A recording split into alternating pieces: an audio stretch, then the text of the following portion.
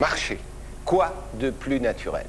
Mais pour des milliers d'accidentés, c'est un rêve brisé. Leur réalité, c'est le fauteuil roulant. Et je dirais c'était leur fatalité. Mais voilà, là aussi, la médecine fait des progrès. Et elle lance à l'échelle européenne un programme qui s'appelle, écoutez bien, Stand Up and Walk. Lève-toi et marche. Alors là, Martine, c'est quand même un peu extraordinaire. C'est plutôt la formule du miracle que de la médecine. Euh, oui, et nous n'aurions pas osé prendre ce titre si les médecins-chercheurs ne l'avaient utilisé avant nous. Parce que nous ne voulons pas donner de faux espoirs à ceux qui sont cloués au fauteuil roulant. Il n'est pas question de dire qu'on va danser, sauter, marcher, courir des centaines de kilomètres. Mais se lever, faire quelques pas, c'est déjà du domaine de la réalité. Et c'est déjà beaucoup. Alors, au cours de cette émission qui a été préparée par Richard Zarzavatian, vous verrez comment précisément se prépare ce programme Lève-toi et marche. Et puis, nous serons en direct de Garches euh, et nous verrons comment on s'efforce de protéger la moelle épinière des accidentés. Nous suivrons aussi des recherches visant à réparer la moelle épinière et nous verrons des expériences de pointe pour utiliser des nerfs de la main afin de commander les muscles des jambes. Et puis, nous verrons quelqu'un d'exceptionnel, Christopher Reeve, Superman, une star. Aujourd'hui, un paralysé des quatre membres qui est trachéotomisé, c'est-à-dire qu'il respire respire par la gorge.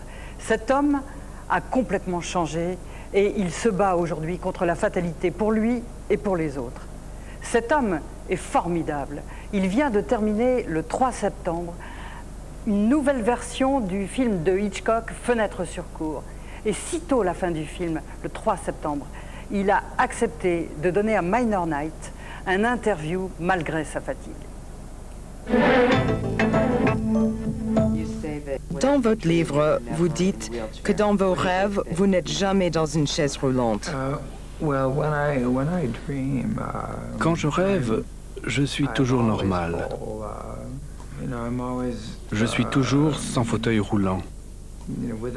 Pas dans ces conditions. Et là, là, je vais jouer au psychologue amateur. Je crois que ça veut dire que mon esprit, mon psychisme refuse d'accepter cette réalité. Que l'image de moi-même, c'est quelqu'un qui peut se lever, marcher et faire tout normalement. Et je crois que c'est un signe très positif. Je refuse de dire que c'est tout ce qu'il y a et que ceci va durer tout le reste de ma vie. Et cela, encore une fois, ce n'est pas un rêve fou. C'est basé sur ce qui se passe avec les scientifiques dans le monde réel.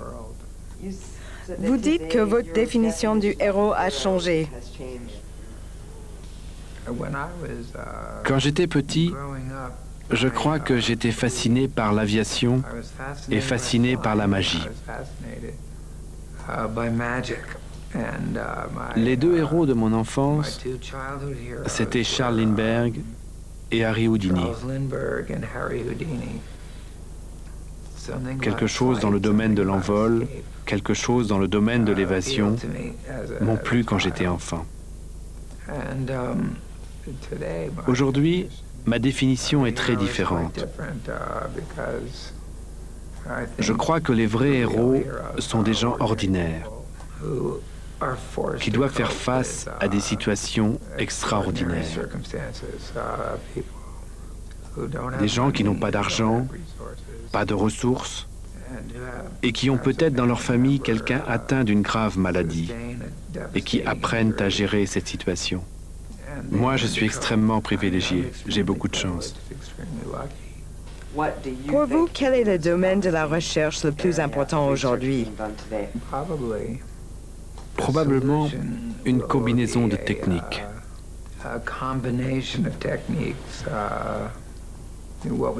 Ce qu'on appelle un cocktail, où beaucoup de choses sont mélangées pour faire un drink. Ça ne va pas être une seule personne qui va trouver la solution. Ça va être une combinaison. Je suis très reconnaissant du fait que maintenant les chercheurs travaillent ensemble dans le monde. Ça va être un effort international. Il y a des laboratoires au Canada, des laboratoires en France, des laboratoires en Suède, en Allemagne, en Suisse, aux USA, en Angleterre. Et nous entrons dans une nouvelle ère de communication entre les chercheurs parce qu'on approche de très près du but. J'ai commencé en 1995, juste après ma blessure, où j'ai lancé un défi parce que je pensais au challenge du président Kennedy de poser un homme sur la Lune avant la fin des années 60. Et quand il a lancé ce défi, il n'avait pas la technologie. Il n'avait aucune idée du moyen de poser un homme sur la Lune. Mais parce qu'il y avait un challenge, les hommes ont répondu. Je crois que c'est la nature humaine. Et quand on dit aux scientifiques, OK, faites ça dans un certain délai, ça les pousse à travailler avec encore plus d'ardeur. Maintenant, ayant une blessure haute, ça me limite énormément, vous savez, parce que je ne peux pas faire beaucoup de choses. Je ne peux pas bouger au-dessous des épaules. La bonne nouvelle, euh, c'est que ça fait de moi un bon candidat pour la guérison, en utilisant une nouvelle technique de régénération des nerfs que les chercheurs sont en train de développer.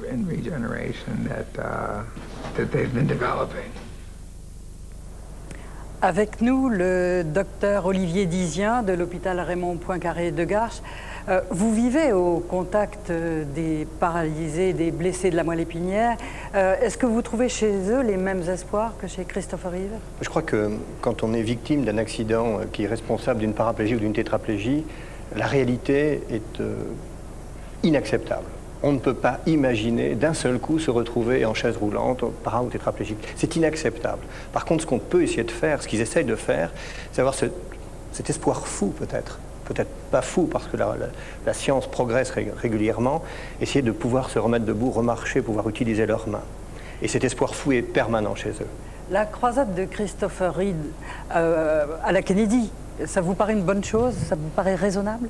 Mais je crois que c'est raisonnable parce qu'il y a beaucoup de progrès qui se font depuis plusieurs années et je crois que donner euh, l'exemple de vouloir se battre pour lui et pour les autres, en apportant beaucoup d'argent, en stimulant les chercheurs, en essayant de fédérer, probablement un jour on arrivera peut-être euh, dans quelques années, dans dix dizaines d'années, peut-être dans 50 ans, on arrivera à quelque chose. Peut-être même avant. Peut-être même avant. Le public mesure mal l'ampleur des drames de la moelle épinière. Chaque année, il y a 2000 ou 3000 personnes en France qui perdent l'usage de leur moelle épinière et qui vont être paralysées pour la vie. C'est ça, c'est le chiffre qui est estimé euh, de 2000 à 3000 nouveaux blessés médulaires par an en France, en sachant que ça touche une population de sujets jeunes et que l'accidentologie routière est malheureusement un des éléments les fournisseurs les plus importants. Mais on ne meurt pas parce qu'on a la moelle épinière brisée.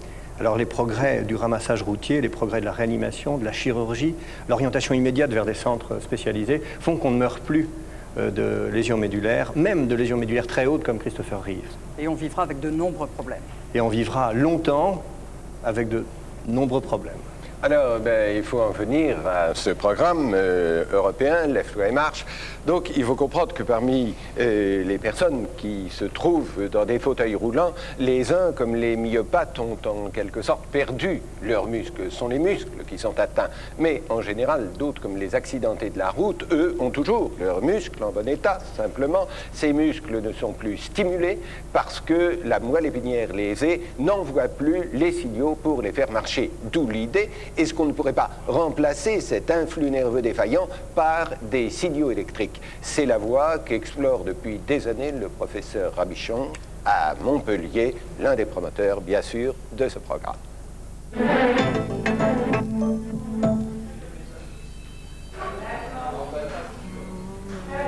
C'est pas parce que je peux pas marcher que y a plein d'activités qu'on peut faire et qu'on fait.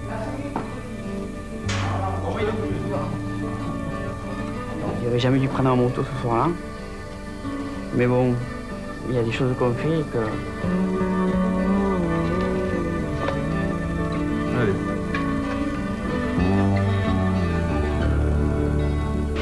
À Montpellier, dans ce centre, des personnes victimes de traumatisme de la moelle épinière.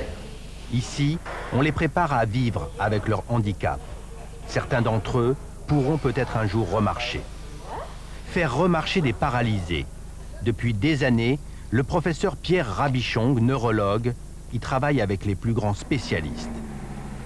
Préalable à la réussite de ce formidable espoir, comprendre l'incroyable complexité de la marche.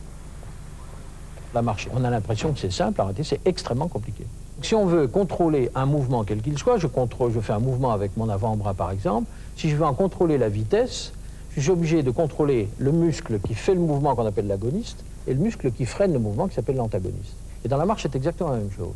Si je marche normalement ici, j'ai automatiquement, sans que je le sache, une contraction des muscles en avant et des muscles en arrière qui bloquent le genou au moment où je pose le, le système. Et c'est ce qui explique que si on ne contracte qu'un des muscles, c'est-à-dire que l'agoniste, on a une marche saccadée qui n'est pas élégante. On peut marcher par exemple comme ça, et c'est une marche qui n'est pas élégante du tout parce qu'effectivement, on a une, une, disposition de cette nature.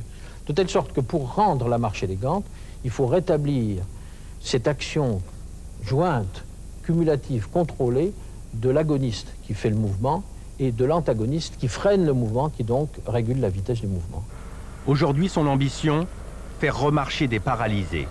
C'est l'objectif du programme européen baptisé Lève-toi et marche. Yves, 36 ans, victime d'un accident de moto, a été choisi après une sélection très stricte.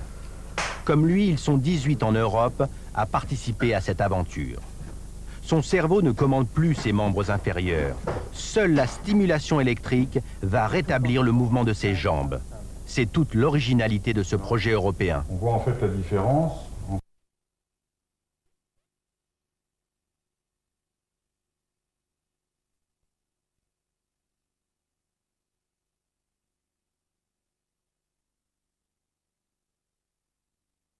Marie-Dominique Montel l'a rencontré.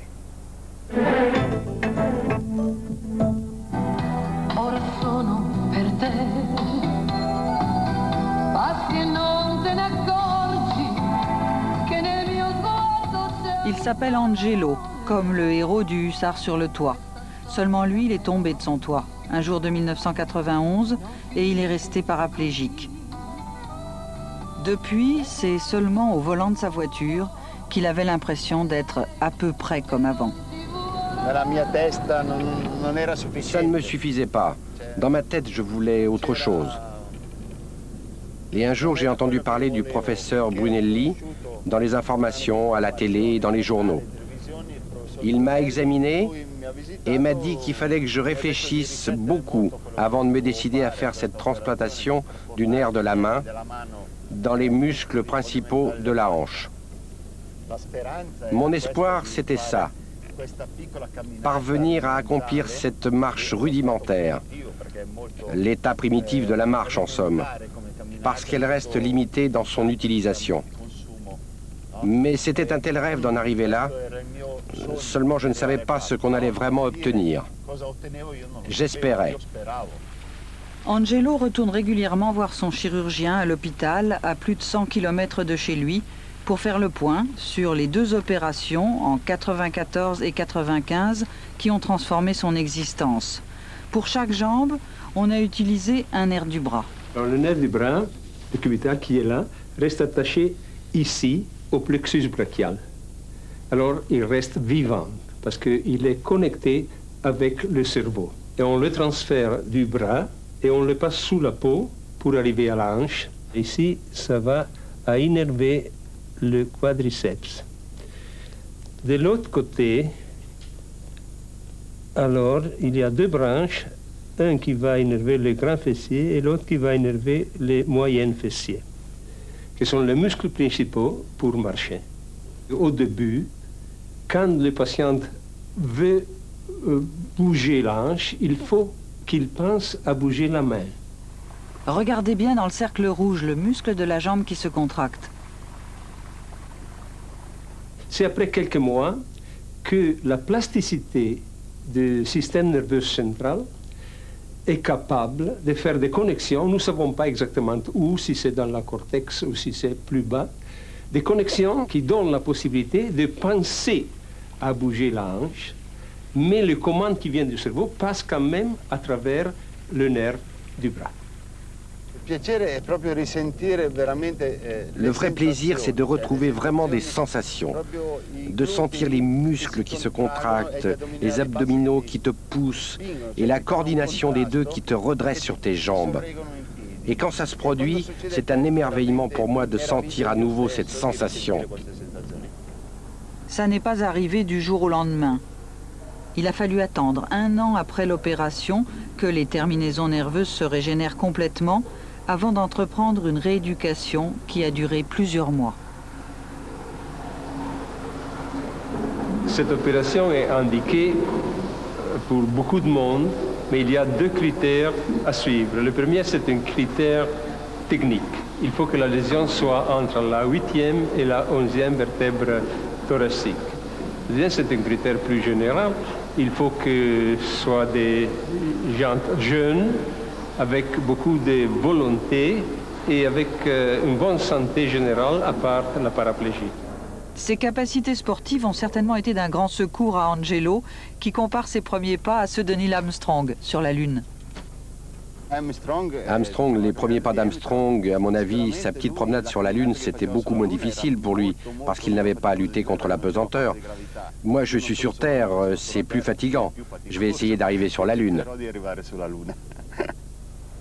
Même étonnant, Christopher Reeve, là, Angelo, tous les deux disent Bon, enfin, bon sang, on est arrivé à conquérir la Lune, on va bien nous sortir du fauteuil. Hein. C'est la même image.